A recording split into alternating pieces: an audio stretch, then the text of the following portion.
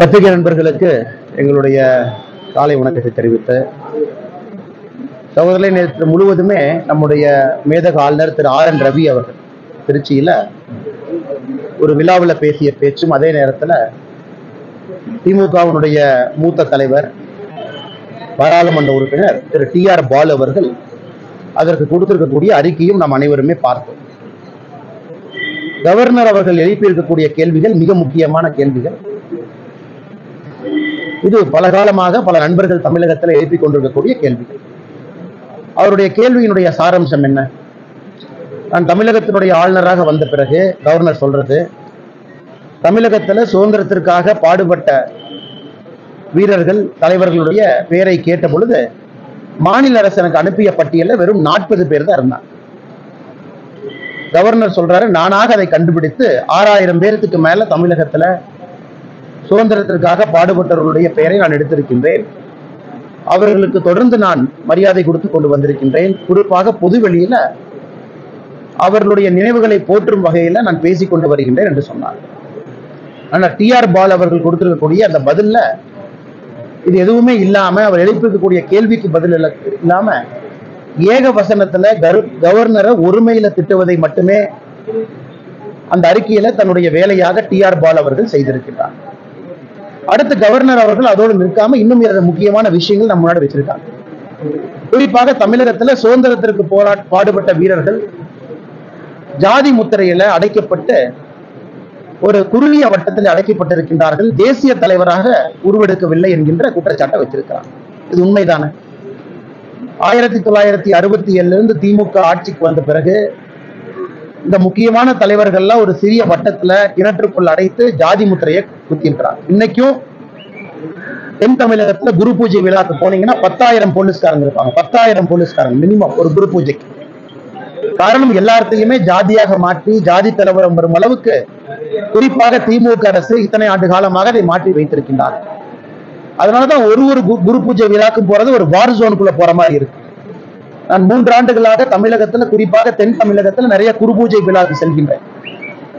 ஒரு ஒரு விழாக்கு சொல்லும் பொழுது கிட்டத்தட்ட இருபது இருபத்தி அஞ்சு அடுக்கு காவல்துறை செக்யூரிட்டியை மதுரை ஏர்போர்ட்ல இருந்து ஆரம்பித்து அந்த குரு பூஜை விழா செல்லும் வரை அந்த செக்யூரிட்டி எல்லாம் தாண்டி அது நூத்தி நாற்பத்தி நான்கு சிஆர்டிசி நான்கு நாட்களுக்கு போட்டு மக்கள் யாரும் வரக்கூடாதுன்னு அந்த மாவல்துறை கா- காவல்துறை அதிகாரிகள் கலெக்டர் எல்லாம் சேர்ந்து கிட்டத்தட்ட பக்கத்து மாவட்டத்திலிருந்து பத்து மாவட்டத்திலிருந்து எஸ்பியை கொண்டு வந்து குமிச்சு தலைவர்களுக்கு குரு குரு பூஜை விழா எடுக்கும் அளவுக்கு தமிழகத்துல தலைவர்களை ஜாதிக்குள் அடைத்து வைத்து அதன் மூலமாக ஜாதி கலவரங்களை உருவாக்கியதற்கு உருவாக்கியதற்கு முக்கிய காரணமாக திராவிட முன்னேற்ற கழகத்தினுடைய அரசு அது சொன்னது என்ன தப்பு?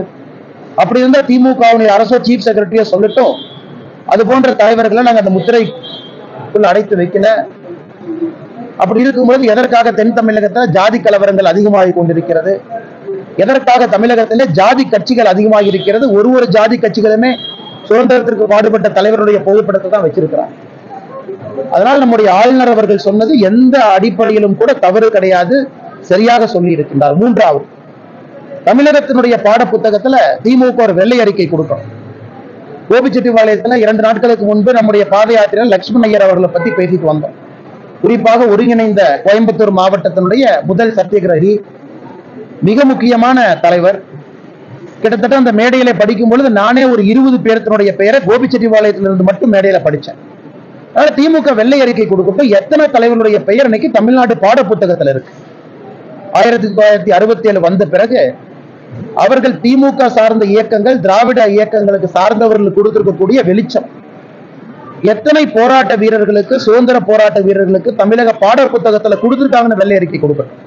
அஞ்சாம் கிளாஸ் இவ்வளவு ஆறாம் கிளாஸ் இவ்வளவு ஏழாம் கிளாஸ் இவ்வளவு. எதுவுமே இல்லாம இருட்டடிப்பு செய்து சுதந்திரத்திற்கு பாடுபட்ட தலைவர்கள் எல்லாம் இருட்டடிப்பு செய்துவிட்டு பாட புத்தகத்துல அவங்க பேர் கிடையாது. உள்ளூர்ல பேர் வச்சா கூட கலைஞர் கருணாநிதி அவங்க பேர் வைக்கிறாங்க. கோபிச்செட்டிவாளையத்துக்கும் கலைஞர் கருணாநிதி அவர்களுக்கும் என்ன சம்பந்தம்? லக்ஷ்மண் ஐயருடைய பெயர் ஏன் இல்லை?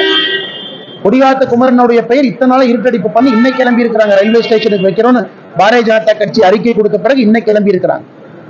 அதே போல இந்த கொங்கு பகுதியில பாடுபட்ட எத்தனை மனிதர்கள் இருக்கிறாங்க? பாசன தந்தை ஈஸ்வரன் அவர்கள் ஆரம்பித்து காளிங்கராயர் அரசவன் பேசிக்கிட்டே போலாம். எந்த பேருமே இருக்காது. நுழைவாயில்னா திமுக மூன்று பேருடைய பெயரை திரும்ப திரும்ப வைப்பாங்க. சமீபத்துல நாமக்கல் ஒரு பெயர் வைப்பதற்கு ஆரம்பித்தாங்க. நாமக்கல் பேருந்து நிலையம் இந்த தலைவருடைய பெயர் அண்ணாதுரை அவர்களுடைய பெயர். இரண்டு வளைவுகள் இருக்கு. ஒரு வளைவுக்கு அன்பழகன் அவர்களுடைய பெயர் இன்னொரு வளைவுக்கு இன்னொரு திமுக தலைவருடைய பெயர். ஏன் அங்க கவிஞர் ராமலிங்கம் பிள்ளை இல்லையா? அந்த ஊர்ல வேற எந்த தலைவரும் இல்லையா? தீரன் சின்னமல்லை இல்லையா? அதனால் ஆளுநர் அவர்கள் சரியான நேரத்துல அந்த கருத்தை வச்சிருக்கிறார். எந்த ஊர்ல பஸ் ஸ்டாண்டை திறந்தாலும் ஓடி போய் கலைஞர் கருணாநிதி அவர்கள் பேரை வைப்பதுல குறியாக இருக்கக்கூடிய அரசு அந்த ஊர்ல சுதந்திரத்திற்கு பாடுபட்ட தலைவர்களுடைய பெயரை வைக்காமல் இருப்பதற்கான காரணம் என்ன? நினைவு மண்டபம் கட்டணும் அப்படின்னு டி ஆர் பால் அவர்கள் சொல்லியிருக்காங்க. நினைவு மண்டபம் கட்டுறது ஒரு பெருசுங்களா? மக்கள் வரி பணத்துல நினைவு மண்டபம் கட்டியிருக்கிறீங்க. அது ஒரு பெரிய விஷயம் கிடையாது. அது மக்கள் வரிப்பணத்துல எழுபது ஆண்டு காலமாக நினைவு மண்டபம் கட்டப்பட்டிருக்கிறது. நினைவு மண்டபத்தினால ஒரு தலைவர் வாழப்போவது கிடையாது. தலைவரனுடைய வாழ்க்கையை படம் பிடித்து காட்டுவதற்கு தமிழ்நாட்டினுடைய பாடப்புத்தகத்தில் இருக்கணும் கண்காட்சிகள் இருக்கணும். தலைவர் சம்பந்தப்பட்ட பொருட்காட்சிகள் வைக்கணும். அதெல்லாம் எதுவும் பண்ணாம ஒரு நினைவு மண்டபத்தை மட்டும் நாங்க அஞ்சாறு கட்டியிருக்கோம். ஆமா நீங்க ஆறு முறை ஆட்சியில் இருந்திருக்கிறீங்க. ஆறு முறை யார் ஆட்சியில் இருந்தாலும் கூட நினைவு மண்டபத்தை கட்டத்தான் போறாங்க. இது ஒரு சாதனை அல்ல. அதனால் கலை நம்ம அண்ணன் டி ஆர் பால் அவர்கள் திமுகவினுடைய மூத்த தலைவராக பாராளுமன்ற உறுப்பினராக இருந்து ஒருமை ஒருமையிலே தமிழகத்தினுடைய ஆளுநரை இதுபோல் பேசுவதை நிறுத்திக் கொள்ள வேண்டும் அவர் கேட்ட பதிலுக்கு கேள்விக்கு பதில் சரியா கொடுக்கணும். ஆமா நீங்க நாற்பது பேர் தான் கொடுத்தீங்கன்னு நம்ம ஆளுநர் சொல்லும் பொழுது இல்லை. நான் நானூறு பேர் கொடுத்த நீங்க பதில் அறிக்கை கொடுங்க நாங்க படிக்கிறோம் ஏத்துக்கிறோம்.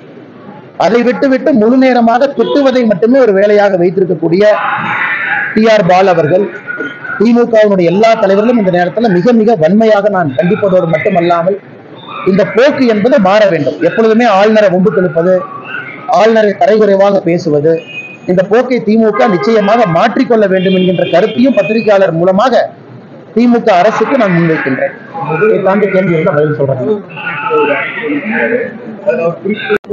பாரதியார் நடிப்பு சுதேசிகள் என பாடியதாக பாரதியார் பாடிய முண்டாசு கவிஞன் பாரதி அவர்களை பற்றி பேசுவதற்கு திராவிட முன்னேற்ற கழகத்தினுடைய தலைவர்களுக்கு அருகதை இல்லை என்பது என்னுடைய தாழ்மையான கருத்து.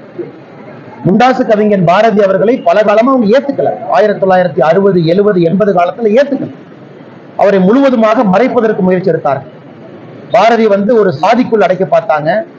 பாரதியினுடைய சுதந்திர தாகம் மிக்க அந்த கவிதைகள் எல்லாம் இவர்கள் ஏற்றுக்கொள்ளவே இல்லை.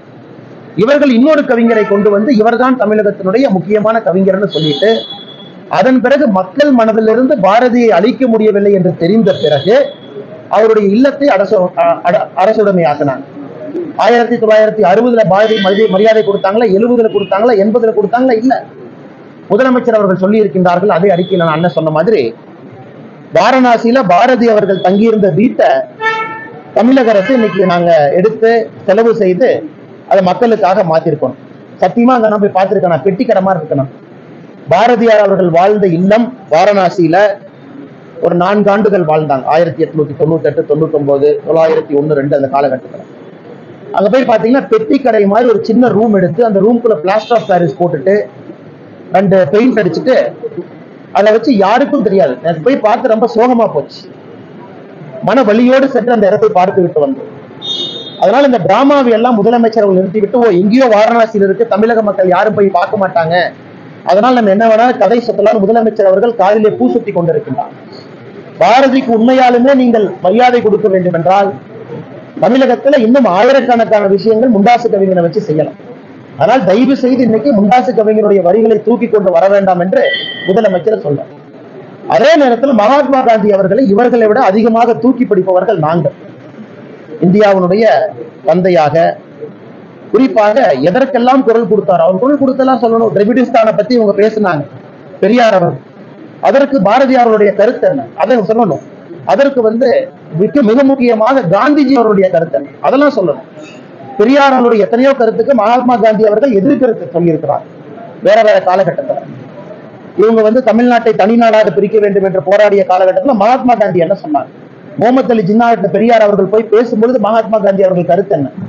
அதனால் முதலமைச்சர் அவர்கள் காதிலே பூ சுத்துகின்ற வேலையை விட்டுவிட்டு உண்மையான மகாத்மா காந்தியினுடைய கருத்துக்களை தமிழகத்துல கொண்டு வாங்க. சும்மா உங்களுக்கு பிடிச்ச மாதிரி பிரிச்செல்லாம் சொல்லாதீங்க.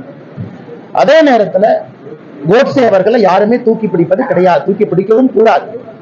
அவர்கள் தவறு செஞ்சிருக்கிறாங்க. எந்த மாற்று கருத்தும் இல்லை. ட்ரையல் நடந்திருக்கலாம். முழு இந்தியாவே பார்த்துருக்கோம். கோட்சே அவர்களை பொறுத்தவரை யாருமே மகாத்மா காந்தி அந்த விஷயத்துல யாரும் ஏற்றுக்கொள்ள போவது கிடையாது. ஐடியாலஜிக்கலி என்ன கருத்துக்களை கோட்சே சொன்னாலும் கூட யாரும் ஏற்றுக்கொள்ள போவது கிடையாது.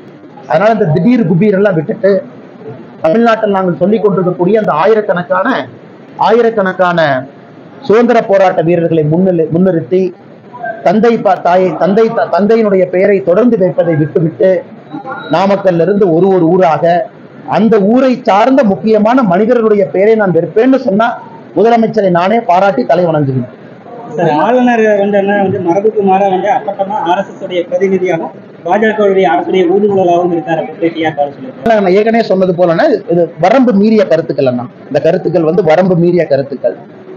அதாவது ஆளுநர் தன்னுடைய வேலையை செய்கின்றார். இப்ப ஆளுநர் சொன்ன பேச்சுல ஃபேக்சுவல் ஒமிஷன் இருக்கு ஃபேக்சுவல் எரர் இருக்கு.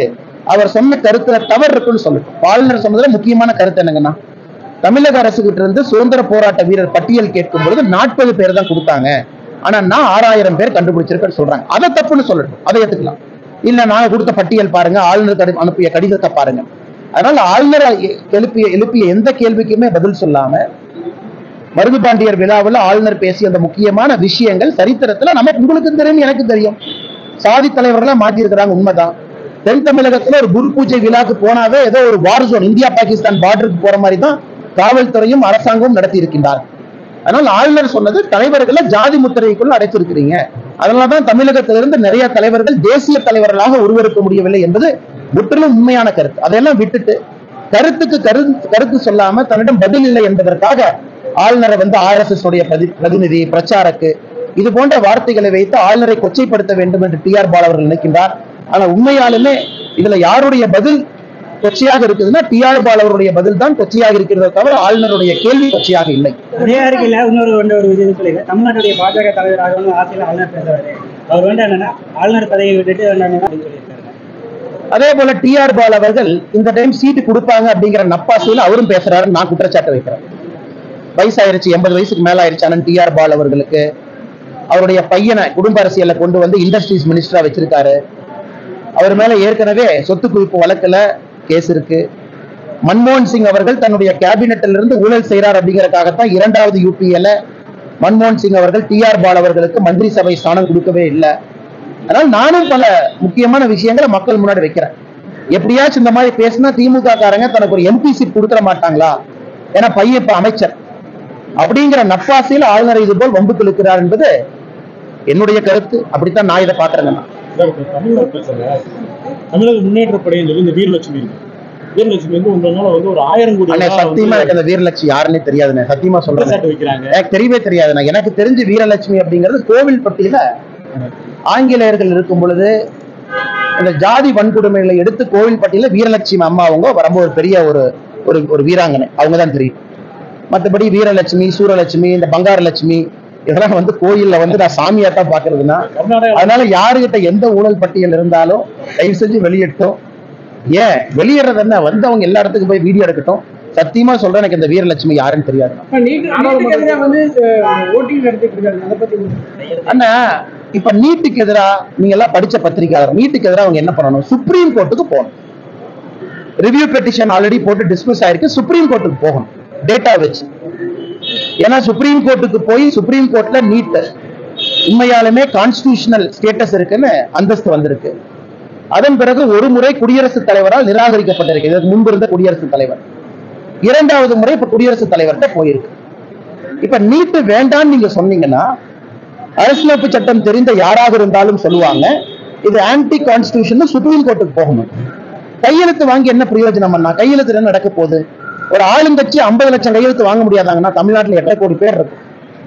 திமுக இவங்க சொல்ற உறுப்பினர்களே ஒன்றரை கோடி பேர் இருக்காங்க சொல்றாங்க. ஒன்றரை கோடியா ஒரு கோடியா சொல்றாங்கன்னா திமுக உறுப்பினர்களை இவ்வளவு பேர் வச்சுக்கிட்டு ஐம்பது லட்சம் கையெழுத்து வாங்க முடியல திமுக கட்சி இழுத்து முடிவிட்டு வீட்டுக்கு சென்று விட வேண்டும் அதனால நான் சொல்றதுங்கன்னா திமுகவை பொறுத்தவரை அவர்கள் இது ஒரு நாடகமாகத்தான் பாக்குறாங்க நீட்டுங்கிறது தமிழ்நாட்டுல எல்லாரும் ஏத்துக்கிட்டாச்சு. எட்டு வருஷம் ரிசல்ட் இருக்கு. ரெண்டாயிரத்தி பதினாறுல இருந்து எட்டு வருஷம் ரிசல்ட் அந்த ரிசல்ட் அனலைஸ் பண்ணி பார்த்தாவே நீட்டை பொறுத்தவரை அது வந்து ஏழை மக்களுக்காக பின்தங்கிய மக்களுக்காக சாமானிய குடும்பத்திலிருந்து வந்திருக்கக்கூடிய மக்களுக்காகத்தான் நீட்டு பயிற்சி இருக்கும் என்பது ஊர்ஜிதம். டேட்டா கிடையாது வெள்ளை அறிக்கை கிடையாது. எட்டு வருஷம் டேட்டா மாநில அரசு கையில் இருக்கு. அவங்க வெள்ளை அறிக்கை கொடுக்கலாம். நீட்டுக்கு வெள்ளை அறிக்கை வேண்டும் என்று மூன்று ஆண்டுகளாக இரண்டு ஆண்டுகளா நான் கேட்டுக்கிட்டேன். பாரதிய ஜனதா கட்சி மூன்று ஆண்டுகளா கேட்டுக்கிட்டு இருக்கேன் வெள்ளை அறிக்கை கிடையாது டேட்டா அனாலிசிஸ் கிடையாது. எந்த குடும்பத்திலிருந்து யாரு போயிருக்கா? முதல் தலை தலைமுறை இரண்டாம் தலைமுறை எதுவுமே இல்லாம ஒரு மாநில அரசு ஆட்சி அதிகாரத்துல முப்பது மாசமா இருக்கிறாங்க. ஒரு ஒரு ஒரு மருத்துவ அமைச்சர் வெள்ளை அறிக்கை கொடுக்கட்டுமே பிரஸ் மீட் வச்சு. இங்க பாருங்கன்னா எட்டு வருஷம் டேட்டா டேட்டா அனலைஸ் பண்ண இத்தனை தான். டாக்டருடைய குழந்தைகள் டாக்டர் இத்தனை பேர் போயிருக்காங்க. அரசு மருத்துவமனைக்கு முதல் தலைமுறை இத்தனை பேர் வந்திருக்காங்க. அரசு ஸ்கூல்ல இருந்து கவர்மெண்ட் ஸ்கூல்ல இருந்து இத்தனை பேர் வந்திருக்காங்க. எந்த டேட்டாவும் கொடுக்காம எப்படி நீட்டுக்கு மக்கள் எதிர்த்து சொல்ல முடியும் நான் கேட்கறது டேட்டாவை கொடுத்து பேசுங்க. அதாவது உண்மையாலுமே நீட்டை ஒழிக்கணும்னா சுப்ரீம் கோர்ட்டுக்கு போங்க. எதுவுமே இல்லாம ஒரு திமுக என்கின்ற கட்சி 50 லட்சம் பேருக்கு நான் கையெழுத்து வாங்கிட்டு அது சாதனையான. ஒரு திமுகங்கிற கட்சி ஆயிரத்தி தொள்ளாயிரத்தி நாற்பத்தி ஒன்பது ஒன்பது வருஷத்துல இருந்து இருக்கு நைன்டீன் ஃபார்ட்டி நைன்ல இருந்து. உங்களால 50 லட்சம் கையெழுத்து கூட வாங்க முடியல தமிழ்நாட்டுல இருந்து கட்சி நடத்துறீங்க? இழுத்து மூடி போயிருங்க.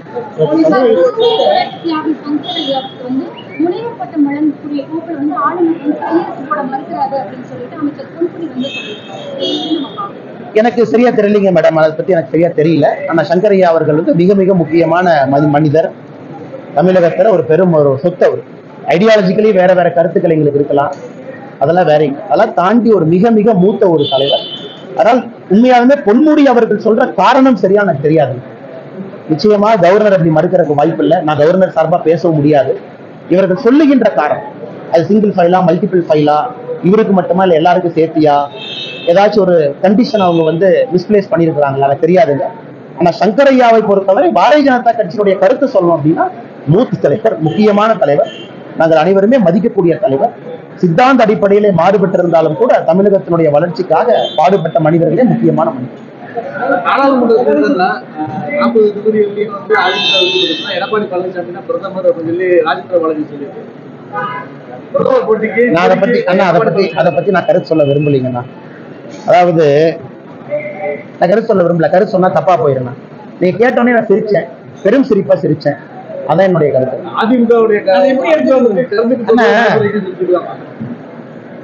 பிரதமர் பதவி வந்து எந்த அளவுக்கு ஆயிப்போச்சுன்னு தான் நான் யோசிக்கிறேன். வேற எதுவும் இல்லைங்கண்ணா. அது எவ்வளவு முக்கியமான பதவி எவ்வளவு முக்கியமான பொறுப்பு இருக்கக்கூடிய பதவி. எனக்கு உலகத்துல கண்டினியூஸா அந்த மார்னிங் கன்சல்ட் சர்வேல எழுபது விழுக்காடு அப்ரூவல் பெற்று இங்க பாரத பிரதமர் நரேந்திர மோடி அவர்கள் எழுபது விழுக்காடு அப்ரூவலோட நம்பர் ஒன் பிரைம் மினிஸ்டரா அக்ராஸ் கண்ட்ரீஸ்ல இருக்காரு. அந்த பதவிக்குன்னு ஒரு மரியாதை இருக்கு. நம்ம கட்சியை சார்ந்த எங்கள் கட்சியை சார்ந்த நரேந்திர மோடி அவர்கள் மூன்றாவது முறை மட்டுமல்ல நான்காவது முறையும் தொடர்ந்து இருக்கத்தான் போறாரு. எந்த மாற்று கருத்தும் இல்லை. அதனால் மிச்சவங்களுக்கு கனவு இருக்கலாம் அதை பத்தி நான் கருத்து சொன்னா தப்பா போயிடும் நீங்க கேட்டதுக்கு சிரிப்பு தான் என்னுடைய பதில்.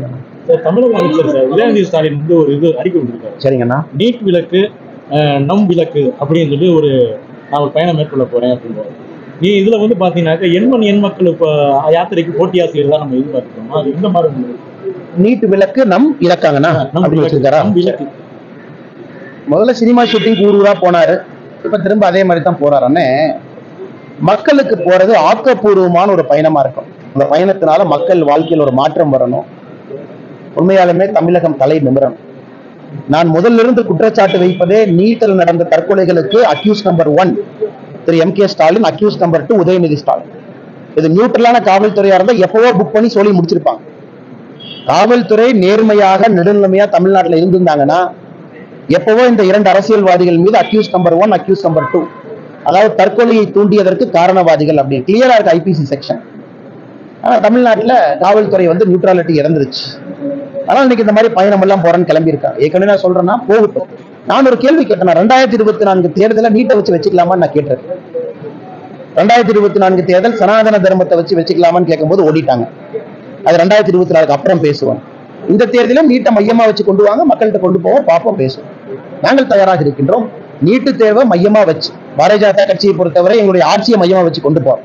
நீங்க நீட்டை மையமா வைங்க. வச்சு கொண்டு வாங்க பேசுவோம். கடந்த தேர்தலில் வந்து செங்கலை கையில் எடுத்து உதயநிதி ஸ்டாலின் முட்டை கையில்? அவர் கோழி முட்டையை பூஜ்ஜியம்னு காட்டுவதற்காக எடுத்திருக்காரு. உதயநிதி ஸ்டாலின் எப்படிப்பட்ட மனிதர் அவருடைய திங்கிங் எப்படி இருக்குன்னு காட்டுறதுக்காக ஒரு முட்டையை கொண்டு வர்றாரு. அண்ணே இதெல்லாம் வந்து ரொம்ப சிறுபிள்ளைத்தனமான அரசியல். அதாவது ஒரு முட்டையை வச்சு என்ன சொல்ல வர்றீங்க திமுக இருக்கிறவங்க எல்லாமே அறிவில்லாதவர்கள் குடும்ப ஆட்சியை நம்பி இருக்கக்கூடியவங்க தான் திமுக இருக்காங்கன்னு அந்த முட்டை வைத்து அவரே சொல்றாரா? திமுக உயர்வதற்கு தகுதி என்பது அறிவு கிடையாது. எந்த குடும்பத்தில் பிறந்தோம்? ஜீரோ அறிவு இருந்தாலும் முன்னேறிலாங்க அந்த முட்டையை வச்சு காட்டார் அதனால அந்த முட்டை என்பது ரொம்ப ஒரு முக்கியமான கோழி முட்டை அப்படின்னு தான் நம்ம சொல்லுவோம். இந்த பையன் கோழி முட்டை வாங்கியிருக்கிறான் பூஜ்ஜியம் மார்க் வாங்கியிருக்கான். உதயநிதி ஸ்டாலின் வந்து இன்னும் சிறுபிள்ளைத்தனமாக டிஆர் பால் அவர்கள் ஒரு மேடையில சொன்னாங்க. வாய்க்கு வந்ததெல்லாம் பேசிடுறாரு. தலைவருக்கு மட்டும்தான் கேட்கிறாரு அப்புறம் அவர் புரிஞ்சுக்கணும் வாய்க்கு வந்ததெல்லாம் பேசிட்டு அதை சமாளிக்கிறதுக்கு இன்னொரு பேசி பிரச்சனையில மாட்டி விடுறாரு. நான் சொல்ல திமுகவுடைய மூத்த அமைச்சர் டிஆர் பால் அவர்கள் உதயநிதி ஸ்டாலினை வச்சுக்கிட்டு ஒரு மேடையில சொன்னார். அந்த அளவுக்கு தான் உதயநிதி ஸ்டாலினுடைய அரசியல் தமிழகத்துல நடந்து கொண்டிருக்கிறது.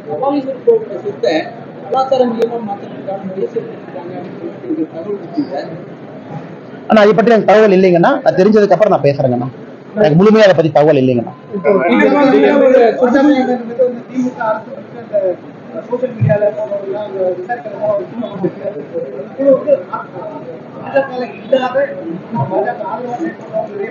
சந்திக்கிறாங்கண்ணா. இருபத்தி ஏழாம் தேதி வர்றாங்க. ஆஹ், இருபத்தி ஏழாம் தேதி வர்றாங்க. தமிழகத்துல ஒரு சித்தாந்த அடிப்படையில யாரையெல்லாம் திராவிட முன்னேற்ற கழகம் தாக்குதல் தொடுத்திருக்கிறாங்களோ அவங்கள சந்திக்கிறாங்க. ஒரு சித்தாந்தத்திற்காக நிற்கக்கூடியவரும் பாரதிய ஜனதா கட்சியில் இல்ல. பாரதிய ஜனதா கட்சிக்கு ஓட்டு போடுறாங்கன்னு போட தெரியாது. ஆனா இன்னொரு சித்தாந்தத்துல இருக்காங்க. அவர்களையும் திமுக கைது செய்திருக்கு அவங்களையும் சந்திக்க போறாங்க. இருபத்தி ஏழாம் தேதி இருபத்தி எட்டாம் தேதி சென்னையில சந்திப்பு இருக்கு. நடிகர் விஜய் வந்து பாஜக வந்து தன் பக்கம் இழுப்பதற்காக பேச்சுவார்த்தை நடைபெறுவதாக நடத்தி சொல்லி ஒரு பத்திரிகையில் எழுதியிருந்தாங்க. இப்போ அந்த பத்திரிகையை எழுதுனாலும் சொல்லி அவங்க மன்றத்துக்காரங்க விஜய் இயக்கமே வந்து உடனே எதிர்ப்பு தெரிவிச்சிட்டாங்க. இந்த மாதிரி நாங்க எங்களுக்கு பாஜக எங்களுக்கு யாரோடும் தொடர்பு இல்லையா எங்களுக்கு மக்களோடு மட்டும்தான் தொடர்பு. மக்களோட மக்களாக இந்த கட்சி இருக்கு வளரும் அடுத்த கட்டத்திற்கு செல்லும். அது மட்டும்தான் இன்னைக்கு பாரதிய ஜனதா கட்சி எங்களுடைய வெற்றிக்கு வளர்ச்சிக்கு அடுத்த கட்டம் நகர்வுக்கு மக்களோடு மக்களாக மட்டும்தான் நாங்கள் பேசிட்டு இருக்கோம்.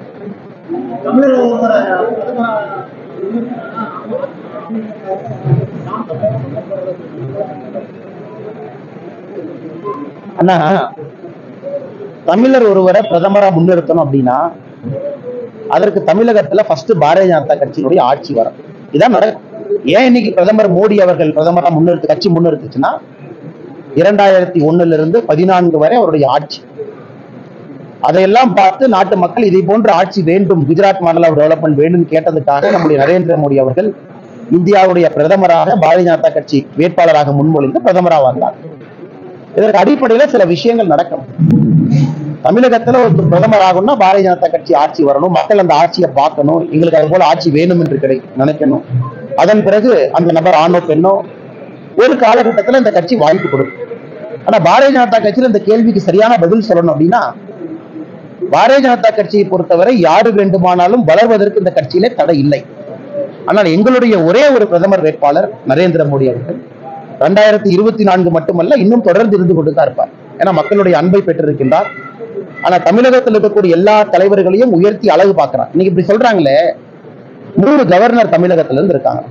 எந்த மாநிலத்துக்கு பிரதமர் அந்த மரியாதையை கொடுத்திருக்காங்க? மூணு கவர்னர் இருக்காங்க. அதே போல தமிழகத்திலிருந்து ஒரு மத்திய இணையமைச்சர் இருக்கிறாங்க. இத்தனைக்கும் எம்பிக்கள் இல்லாத ஒரு மாநிலம் நம்ம தமிழகத்தில் இருக்கக்கூடிய எத்தனையோ தலைவர்களை உயர்த்தி அழகு பார்த்து கொண்டிருக்கக்கூடிய பிரதமர் அவர்கள் இதையும் பாருங்கன்னு தான் நான் சொல்றேன்.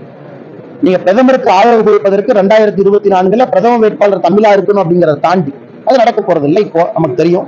ஏன்னா நம்முடைய பிரதமர் நரேந்திர மோடி அவர்கள் தான் எங்களுடைய வேட்பாளர். ஆனா அதை தாண்டி பிரதமர் அவர்கள் உண்மையாலும் தமிழ் மக்கள் மேல அன்பு வச்சிருக்காருன்னா இதையும் பாருங்கன்னு அண்ணன் சீமான் அவர்கள் ஒன்று தெரிவிச்சுக்கிறேன். இதையும் பாருங்கன்னு மற்ற கட்சி தலைவர்கள்ட்ட நான் சொல்றேன். உண்மையான தமிழ் மக்களின் மீது அன்பு யாருக்கு? இருக்கு அண்ணன் சீமான் அவர்களுக்கு தெரியும் இலங்கை பிரச்சனையை பத்தி நிறைய சீமான் அண்ணன் பேசுறாங்க. சீமான் அண்ணன் கடைசி எப்ப இலங்கைக்கு போனாருன்னு எனக்கு தெரியல. இப்ப சீமான இலங்கை குறிப்பாக வடகிழக்கு பகுதிக்கு போனாங்க அப்படின்னா நிறைய நண்பர்கள் அவருக்கு இருக்கிறாங்க. அவங்ககிட்ட இருந்து ஃபீட்பேக் எடுத்து எந்த அளவுக்கு இலங்கை தமிழர்களுடைய வளர்ச்சிக்கு மலையக தமிழர்களுடைய வளர்ச்சிக்கு எந்த அளவுக்கு பிரதமர் பாடுபட்டு இருக்கிறார் அண்ணன் சீமான் இருக்காரு இன்னைக்கு அண்ணன் சீமான் அவ்வளவு பேசுறாங்கல்ல. ரெண்டாயிரத்தி ஒன்பது யுத்தம் என்னன்னா இந்தியா வாஸ் காம்ப்ளிசிட் அந்த கிரைம் இந்தியாவோட இன்டெலிஜென்ஸ் ஷேரிங் நடந்துச்சு.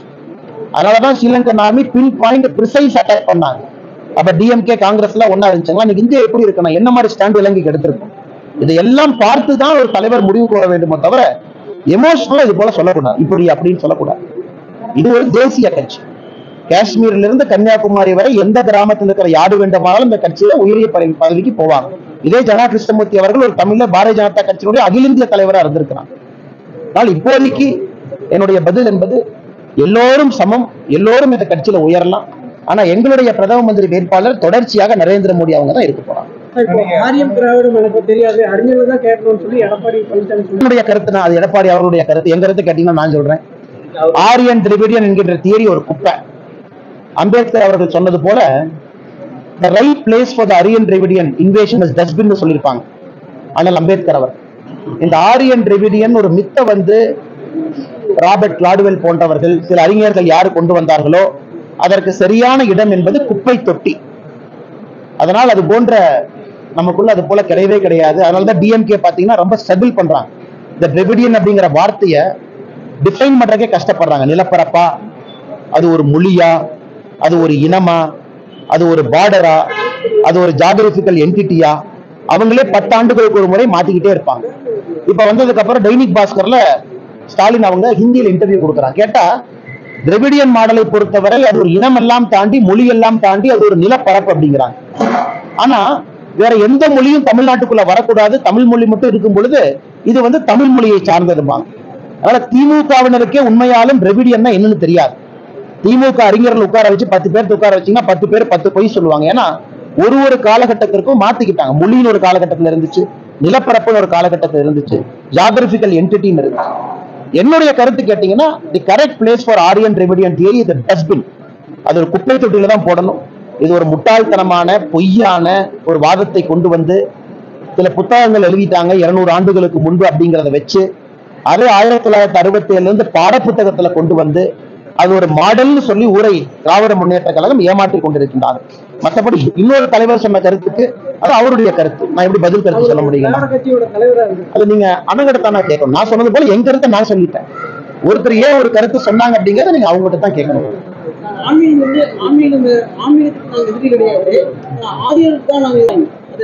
இது இது ரொம்ப ஆச்சரியமான ஒரு மாற்றம். முதல்ல வந்து பாத்தீங்கன்னா நாங்க வந்து இப்ப ஆரியர்னா யார் ஆரியர்னு சொல்றாங்க? எனக்கு டிஃபைன் ஆரியர்னா என்னை பொறுத்தவரை இந்தியால யாரும் ஆரியர் இல்லை என்று நான் பார்க்கின்றேன் அந்த மாதிரி சொல்றாங்கன்னா ஸ்டாலின் சொல்லணும் ஆரியர்னா யாரு? அப்ப இந்தி கூட்டணியில் இருக்கிறவங்க ஆரியரா இல்லையா? இந்தி கூட்டணி. உங்களுக்கு ஒரு டிஆர்பி அருமையா கிடைச்சது பாருங்க. இந்தி கூட்டணியில் இருக்கக்கூடிய அகிலேஷ் சிங் யாதவ் ஆரியரா இல்லையா? அவருடைய கணக்குப்படி நான் சொல்றேன். மம்தா பானர்ஜி ஆரியரா இல்லையா? ஃபரூக் அப்துல்லா காஷ்மீர் ஆரிய வம்சம்னு இவங்க சொல்லுவாங்க. அவர் ஆரியரா இல்லையா? சோ ஆரியருக்கு எதிரி என்று சொன்னால் இந்தி கூட்டணில இருந்து வெளியே வரணும்ல? என்னை பொறுத்தவரை நான் ஆரியர்லாம் நான் பார்க்கல நான் டஸ்ட்பின் சொல்றேன். ஆனா இவங்க ஆரியர் தியரிய நம்புறாங்கன்னா எதுக்கு இந்தியன் இந்தி கூட்டணியில ஆரியர் என்று சொல்லக்கூடிய தலைவர்களோடு எதற்கு மு க ஸ்டாலின் நீங்கள் எதற்கு கூட்டணி வைக்கணும்? முட்டாள்தனமான வாதமா தெரியலையா? மக்கள் என்ன வேணாலும் கேட்பாங்க. ஒரு மேடையில மைக் இருக்கு முதலமைச்சர் என்கின்ற முறையில என்ன வேணாலும் பேசினா அதனை வாமிட்டான எடுத்துட்டு இருக்காங்க. ஒரு ஒருத்தரும் ஒரு ஒரு கருத்து. ஹிஸ்டாரிக்கலி எந்த பேசிஸ் இல்ல எந்த எவிடன்ஸ் இல்ல. அப்படி இருக்கும் பொழுது நீங்க ஆரியர் யாருன்னு டிஃபைன் பண்ணுங்க. நார்த் இந்தியன் ஆரியர் இந்திய மலைக்கு மேல ஆரியர் அப்படின்னு நீங்க சொன்னீங்கன்னா ஜம்மு அண்ட் காஷ்மீர் ஆரியர் தானே? எதுக்கு இந்தி கூட்டணி உட்கார்ந்து இருக்கீங்க எதுக்கு ஒரே இடத்துல இருக்கீங்க? வெளியே வாங்க முதல்ல நீங்க இந்தி கூட்டணில இருந்து வெளியே வந்துட்டு ஆரியர்னு சொன்னா நான் பதில் சொல்றேன். நடிகை கௌதமி நேற்று நான் கௌதமி அக்காவை பார்த்தேன்னா கௌதமி அக்கா நேற்று வந்தாங்க. கௌதமி அக்காவோட நேற்று காஃபி சாப்பிட்டேன் எனக்கு அவங்க ஒரு நண்பர் கூட அரசியல் கட்சியெல்லாம் தாண்டி எனக்கு பர்சனலா ஒரு பிடித்த ஒரு தலைவர் ரொம்ப கண்ணியமிக்க ஒரு தலைவர். இஷ்யூஸ் எல்லாம் எது இல்லைங்க. ஏன்னா கௌதமி அவர்கள் நம்முடைய நரேந்திர மோடி அவர்கள் பிரச்சாரக்காக இருந்த பொழுது ஆயிரத்தி தொள்ளாயிரத்தி தொண்ணூத்தி எட்டுல அப்ப மோடி ஐயாவை சந்தித்து இந்த கட்சியில் இணைஞ்சாங்க. இருபத்தஞ்சு ஆண்டுகள் அந்த கட்சியில் இருக்காங்க. இந்த பிரச்சனைகள் இந்த கேஸ் சம்பந்தமா இருக்கு. திமுக அரசு அதை கையில் எடுக்கணும். காவல்துறை நாற்பது நாட்கள் ஆகியும் இன்னும் வந்து அக்யூஸ்ட கைது பண்ணாம அலோவ் பண்ணிட்டு இருக்காங்க. கண்டிப்பா அவங்களுக்கு மன உளைச்சல் இருக்கு. ஏன்னா அவங்க கஷ்டப்பட்டு சம்பாதித்த பணம் இருக்கு இத்தனை ஆண்டு காலமா சம்பாதித்த பணத்தை யாரோ ஒருத்தர் ஏமாத்திருக்காங்க.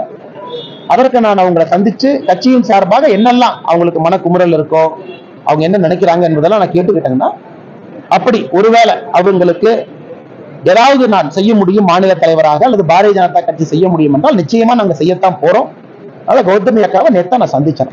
அதுல ஒன்றும் ஒன்றும் பிரச்சனையோ ஒரு இஷ்யூவோ ஒன்றும் இல்லைங்கண்ணா ஆனா கட்சியில தொடர்றாங்க. என்பதை தாண்டி இன்னைக்கு தேதியில அவங்களுக்கு மன நிம்மதி வேண்டும் அவங்க கிட்டத்தட்ட அந்த நாற்பது ஐம்பது நாட்களாக பெரும் மன உளைச்சல்ல போயிருக்காங்க கௌதமி அக்காவை பத்தி உங்களுக்கு தெரியும். இதற்கு முன் மெடிக்கல் இஷ்யூஸ் எல்லாம் இருந்துச்சு. அதெல்லாம் போராடி வென்று வந்திருக்கிறாங்க. ஆனால் இன்னைக்கு அவங்களுக்கு அந்த மன நிம்மதி வேண்டும் என்று விரும்புகின்றார். அதனால வருகின்ற காலத்துல எப்பொழுதுமே அவருடைய ஆதரவு நம்முடைய நரேந்திர மோடி அவர்களுக்கு இருக்கும். நம்முடைய சித்தாந்தத்திற்கு இருக்கும். அதில் எந்த மாற்று கருத்தும் இல்லை. காரணம் அவங்க ஏதோ பிஜேபி பவருக்கு வந்த போது கட்சிக்கு வரலைங்களா? பிஜேபி பவருக்கு வராதப்பவே இந்த கட்சியில சேர்ந்த ஒரு தலைவர் கௌதம். நைன்டீன் நைன்டி எயிட்ல சேர்ந்தாங்க. இருபத்தி ஐந்து ஆண்டுகள் அந்த கட்சியில் இருக்காங்க. அதனால் அவங்களுக்கு நான் கிளாரிஃபை பண்ணியிருக்கேன். ஏன்னா அவங்க மனசுல சில விஷயங்கள் இருந்துச்சு நான் கிளாரிஃபை பண்ணியிருக்கேன். இந்த மாதிரி யாரோ சப்போர்ட் பண்றாங்கன்னு சொன்னாங்க. அதுவும் கிளாரிஃபை பண்ணியிருக்கேன். அதனால இது ஒரு பெரிய இஷ்யூவா கிடையாது. ஒரு இது ஒரு ஒரு முடிகிற இஷ்யூ தான். சார் அதிமுக தலைவர்கள் வந்து பாஜக விமர்சனம் பண்ணிட்டு வராங்க. ஆனா நீங்க வந்து உங்க தரப்பு ரொம்ப அமைதியான தலைவா வேலை நிறைய இருக்கு தலைவா. யாத்திரை இருக்கு. நீங்க நீங்க விட்ட உடனே யாத்திரைக்கு ஓடணும். நிறைய வேலைகள் இருக்கு. அதனால எதற்கு நான் ஏற்கனவே நான் சொல்லியிருக்கேன்னா சிலர் கோவப்பட்டாலும் சரி நான் சொல்லியிருக்கேன். இன்னைக்கு தமிழ்நாட்டுலனா ஒன்பது ஆண்டுகள் ஆட்சியில் நாங்க இருந்துட்டோம் மத்தியில. நாங்க உங்க முன்னாடி நீங்க கேட்பீங்க. எலெக்ஷன் அனௌன்ஸ் பண்ணே ஃபர்ஸ்ட் கேள்வி நீங்க தான் கேட்பீங்க. தலைவா பத்து வருஷம் ஆட்சியில் இருந்து என்ன பண்ணிருக்கீங்க சொல்லுங்க. எல்லா நண்பர்களும் கேட்கத்தான் போறீங்க. ரிப்போர்ட் கார்டு உங்களுக்கு பதில் சொல்லணும். பாருங்க இவ்வளவு செஞ்சிருக்கோம். இன்னும் அஞ்சு வருஷம் கொடுங்க. திமுகவை கேள்வி கேட்கிறோம். முப்பது மாசமா இருந்திருக்கீங்க என்னையா செஞ்சுட்டு இருக்கீங்க? இதுதான் இன்னைக்கு தமிழக மக்கள் பார்க்கறாங்க கேட்கறாங்க. நீங்க என்ன சரி செஞ்சிருக்கீங்க? நீங்க என்ன சரியா செய்யல அப்படி? அதனால மிச்ச கட்சிகளை பத்தி நான் கமெண்ட் பண்றது பேசுறதெல்லாம் நான் அறவா ஸ்டாப் பண்ணிக்கிட்டேன். ஏன்னா என்னுடைய நேரம் விரயம் என்று பார்க்கின்றேன். அவங்களுக்கு ஒரு ஒரு கருத்து இருக்கு. அந்த கருத்து அவர்களை பொறுத்தவரை சரியா இருக்கும். பட் என்னை பொறுத்தவரை இன்னைக்கு இருக்கக்கூடிய அந்த ஏழு மாத காலத்தை எதற்கு பயன்படுத்த வேண்டும் என்பதில் நான் தெளிவாக இருக்கின்றேன். பாரதிய ஜனதா கட்சியும் தெளிவா இருக்கு.